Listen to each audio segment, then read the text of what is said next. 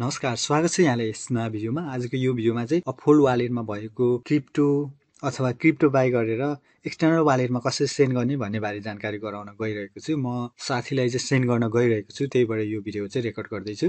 र तपाईँले ट्रेड गर्न सक्नुहुन्छ क्रिप्टो लगायत तपाईँले चाहिँ स्टकहरू पनि किन्न सक्नुहुन्छ यसबाट चाहिँ।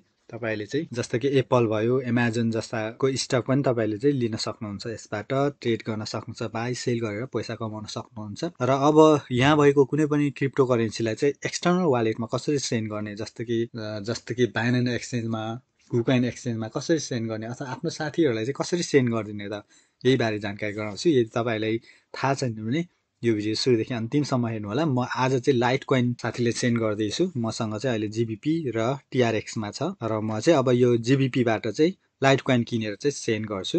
यसको लागि चाहिँ तपाईँले चाहिँ यहाँनिर फर्म भनेको छ अब कुनबाट चाहिँ किन्ने हो त सिलेक्ट गर्नुपर्ने हुन्छ। मेरो जिबिपीमा ब्यालेन्स छ र यो जिबिपी बराबरको चाहिँ म यो जिबिपी ब्यालेन्स प्रयोग गरेर चाहिँ म लाइट कोइन चाहिँ किनेर साथीलाई सेन्ड गर्दैछु एक्सटर्नल वालेटमा अब फर्ममा क्लिक गर्ने। फर्ममा क्लिक गरिसकेपछि तपाईँसँग कुन सेन्ड गर्नुपर्ने हो तपाईँले सेलेक्ट गर्न सक्नुहुन्छ। अब टिआरएक्स हो कि बेसिक एटेन्सन टोकनदेखि लिएर तपाईँले चाहिँ यहाँनिर थुप्रै तपाईँले चाहिँ आफ्नो एकाउन्टबाट सेन्ड गर्न सक्नुहुन्छ। र अहिले मेरो एकाउन्टमा चाहिँ यो जिबिपीमा छ। यो जिबिपीबाट चाहिँ म साठी डलर बराबर चाहिँ साथीलाई सेन्ड गर्दैछु। अब तपाईँले चाहिँ यसरी भइसकेपछि चाहिँ तपाईँले फर्म भनेको चाहिँ यहाँनिर सेलेक्ट भइसकेको छ। जुनबाट किन्ने अथवा पठाउने हो वा कुन एक्सचेन्ज गर्ने हो तपाईँले चाहिँ यसरी सेलेक्ट गर्नुपर्ने हुन्छ। जस्तो कि बिटकोइनबाट युएसटिटीमा सेलेक्ट गर्नु छ के अरे एक्सचेन्ज गर्नु छ भने चाहिँ तपाईँले यहाँ बिटकोइन सेलेक्ट गर्नुपर्ने हुन्छ। यहाँ तल चाहिँ युएसटिटी सेलेक्ट गर्नुपर्ने हुन्छ। अहिले म लाइट कोइन सेन्ड गर्नु गइरहेको छु साठी युएसटिटी बराबर। यदि जिबिपीमा हो भने तपाईँले यो फर्ममै टाइप गर्दा नि हुन्छ। र अहिले चाहिँ म साठीको पठाउन चाहन्छु त्यही भएर साठी टाइप गर्छु यहाँनिर। अनि त्यसपछि टु भनेको छ। अब यहाँ चाहिँ अब कुन कोइन चाहिँ लिने हो तपाईँले सेलेक्ट गर्न सक्नुहुन्छ? अब आफ्नै वालेटमा एक्सचेन्ज गर्नको लागि चाहिँ तपाईँले यहाँनिर सेलेक्ट गर्न सक्नुहुन्छ। युएसटिटी जस्तै तपाईँसँग बिटकोइन छ अब युएसटिटीमा चाहिँ कन्भर्ट गर्न चाहनुहुन्छ भने युएसटिटी सेलेक्ट गर्न सक्नुहुन्छ। यहाँ सो मोडमा क्लिक गरेर थुप्रै अप्सनहरू छ। यी कोइनहरूमा चाहिँ कन्भर्ट गर्न सक्नुहुन्छ र तपाईँले सिधै आफ्नो ब्याङ्क एकाउन्टमा पनि सेन्ड गर्न सक्नुहुन्छ यहाँबाट। अनि क्रिप्टो करेन्सी भनेको छ।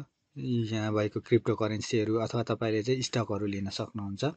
अब एक्सटर्नल वालेटमा सेन्ड गर्नको लागि चाहिँ तपाईँले चाहिँ अब नेसनल करेन्सी भनेको छ यो चाहिँ फेथ हो। यो क्रिप्टो नेटवर्कमा जानुपर्ने हुन्छ एक्सटर्नल वालेटमा पठाउनको लागि चाहिँ अथवा तपाईँले यहाँ युटिली टोकन भनेको चाहिँ यसबाट गर्दा पनि हुन्छ। म चाहिँ अहिले क्रिप्टो नेटवर्क प्रयोग गरेर चाहिँ सेन्ड गर्छु। यहाँनिर तपाईँले चाहिँ बाइसवटा कोइनमा चाहिँ एक्सटर्नल वालेटमा सेन्ड गर्न सक्नुहुन्छ यहाँ क्रिप्टो नेटवर्क भनेको छ। अब यहाँ क्रिप्टो नेटवर्क अन्तर्गत चाहिँ त्यो मोरमा क्लिक गरेर हेर्न सक्नुहुन्छ। Bitcoin XRP ethereum OX balancer basic attention token bitcoin क्यासदेखि लिएर यहाँनिर बाइसवटा कोइनहरू छ। र अहिले चाहिँ म लाइट कोइन सेन्ड गर्न चाहन्छु त्यही भएर चाहिँ यो लाइट कोइन सेलेक्ट गरेँ। यसरी सेलेक्ट गरिसकेपछि चाहिँ अब साठी डलर बराबरको चाहिँ यहाँनिर आफै कन्भर्ट गरेर देखाउनेछ र यहाँनिर जिबिपी बराबर चाहिँ कति हुन्छ भन्ने पनि देखाउनेछ त्यसपछि अब यहाँनिर प्रिभ्यू विड्रमा क्लिक गर्नुपर्ने हुन्छ। प्रिभ्यू विड्रमा क्लिक गरिसकेपछि चाहिँ अब तपाईँले चाहिँ यहाँनिर लाइट कोइन एड्रेस भनेको छ।